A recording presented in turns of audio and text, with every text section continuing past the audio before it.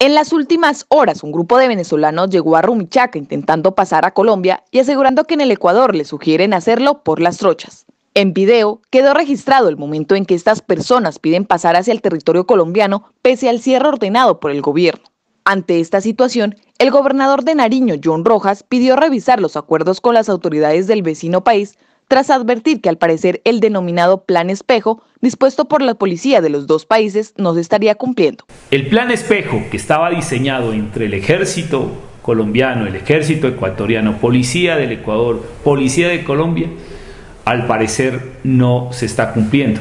Solicitamos al gobierno nacional inmediatamente establecer un diálogo con las autoridades ecuatorianas es de bastante preocupación lo que pueda suceder en la frontera, la solidaridad con el pueblo ecuatoriano, pero también tenemos que hacer cumplir el tema del cierre de frontera. Ya 113 casos hoy confirmados con COVID-19 hacen de que tenemos que estar muy de cerca de lo que ocurre en nuestra frontera. La responsabilidad no solamente es del departamento de Nariño, la responsabilidad es de todos. Por eso tenemos que estar muy pendientes de lo que suceda en frontera.